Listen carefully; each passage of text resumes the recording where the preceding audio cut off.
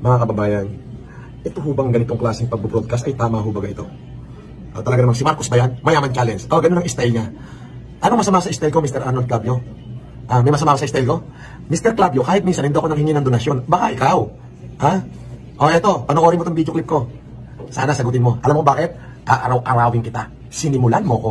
Oh, ngayon, taong bayan ang galit sa'yo. Puro ka fake news ang kasi ang nalalaman mo. Ha? Oh, magsama-sama kayo dyan. Puro kayo fake news eh. Oh, sige, tingnan natin. Ha? Hindi ko hinihingi mag-public apology ka. Bibirahin kita araw-araw. Hihintayin ko sagot mo dito sa aking ginagawa. Dito sa aking video clip, gusto ko sumagot ka. Ha? Kasi aaraw-arawin kita para malaman ng taong bayan kung gaano ka fake news ang lumalabas sa bunganga mo. Mga kababayan, kung uulit-ulitin mo yung, aking, yung kanyang mga video, yung nilabas niya sa aking video clip, eh pambihira, yung napakasama eh. Tumulong ka na, puta yan. Kasi sinasabi ko, yung arm-arm malaki ulo na hindi bagay sa bata. Yung, ah, yung puppet? Oo, yung puppet na sinasabi ko, oo. Pero yung kamukha niyang tao, yung nga si Arnold, may pa-imbestiga pang nalalaman eh. Hoy! Ano nalalaman ng tao na puro fake news ang nalalaman mo? Ha? Oh, sa abot sa hospital. Oh, dinilit niya. Eh, kanina, pag ayun lang ngayon mga bago ko bumaba ng building, tinawagan ako ng Rex kaya nung, nung target on air. Boss, may bira sa'yo dito. Pinorward sa akin yung video. Eh, kung hindi pa naman iinit ang dugo ko, eh, may, may nalalaman pang NBI. Ako daw eh, puro mayaman challenge daw. At uh, yun naman pala daw eh, kasyo, ganyan ganon.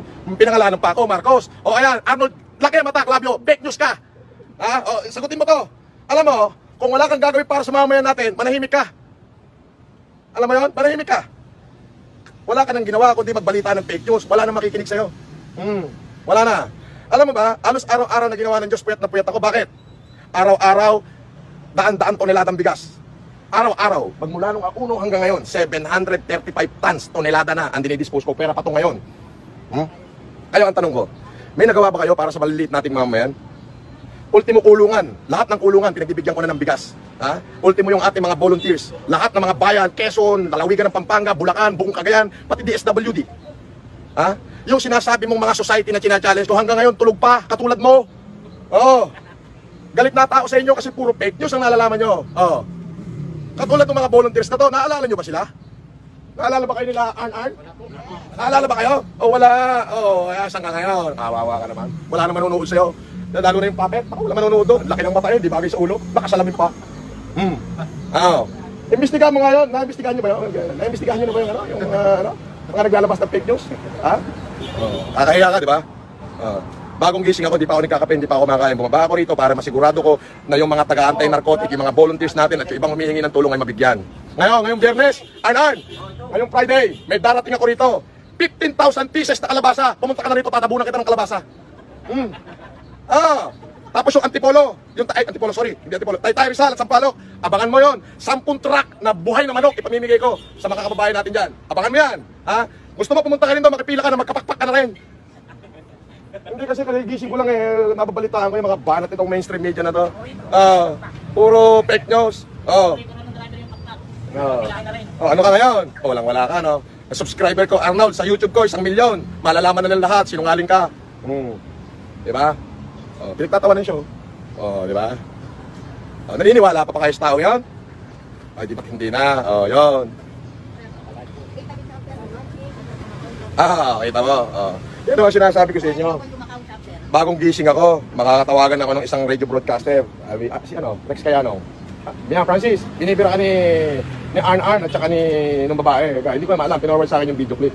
Ba, ay maanghanga ang mga sinabi eh. Kailan pa nagis pag ano niyo pagka may gumagawa ng mabuti, ginagawa niyo ng paraan para masira. Kaso hindi ako masisira eh. Bakit? Proven ang aking ginagawa. Naka, naka mo. Eh kayo, proven na yung mga bunganga niyo malalaki. Hanggang bunganga lang kayo. Oh, ang tanong ko, ikaw, kayo, kayo, kayo dyan, may ginawa na ba kayo para sa mga mamamayan? Anong ginawa nyo ngayong COVID? Wala, dumaldal. Ay di nakakahiya kayo, awawa naman kayo. Di ba? Oh, ano, gusto mo pa, hindi kita pagsasawaan, bibigyan kita ng panahon. Ang style kasi nito mga media na to, bibirahin ka. Pagbilang kayo. Oh, ang tanong ko, ikaw, kayo, kayo, kayo dyan, may ginawa na ba kayo para sa mga mamamayan?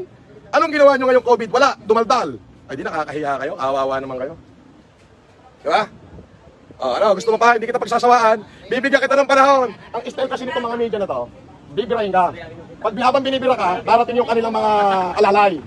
Bigyan mo na lang eka para tumahimik na hindi. Birahan tayo kung gusto mo hanggang sa matapos ng COVID. Eh. Kung gusto mo hanggang magunaw ng Pilipinas, magbirahan tayo eh. Hindi kita atrasan. Bakit? Ako ay totoo. Totoo ang aking ginagawa at aking sinasabi. Alam ng mamaya niya. Ikaw, ano? Puro fake news ang nalalaman mo. O ginagawa, ya, bagay, hanap buhay mo yan, diyan kakikita. Kung hindi ka magsisinungaling, hindi mabenta, walang manonood sa'yo. Oo, tunay ka. Oo. Tunay ka sinungaling. Oh, yan. Alam ng taong bayan yan, oh, nakikinig sila. Oh. Ikaw sa studio mo, audience mo lang, yung cameraman mo. Ito, audience ko habang nagsasalita ako. Oh, yung mga mamamayan tumatanggap ng ating ayuda. Ah, ah, nakita- mo? Ah, gusto mo nang hiyaan, o hihiyain kita. Mananawa ka sa akin, pauulan kita ngayon. Akala mo ikaw lang mabunganga, ay nako, putang ina, mabunganga rin ako. Pinakain din ako ng pukin ng baboy ng nanay ko nung ako'y bata. Hmm. Hindi nga, madaldal din ako, matabil din ang dila ko eh. Hmm. Ah. Ah, ah. Ito nakaanim na balik na dito kakadeliver ng bigas eh. Ito, nakailang balik ka na rito. Anim na sir. Oh, ang nagdadeliver sa atin, Cagayan, ah, Bulacan, Nueva Ecija. Anin na balik. Ito na lang tanongin natin, ito isang pahinante. Mga ilang sako na yung ibinaba mo sa akin? Hindi ko na mabilang sir. May mga dalawang libo sako na yun, ibaba mo sa akin? Hindi lang? Hindi lang. Ah, nakita mo. Isang deliver.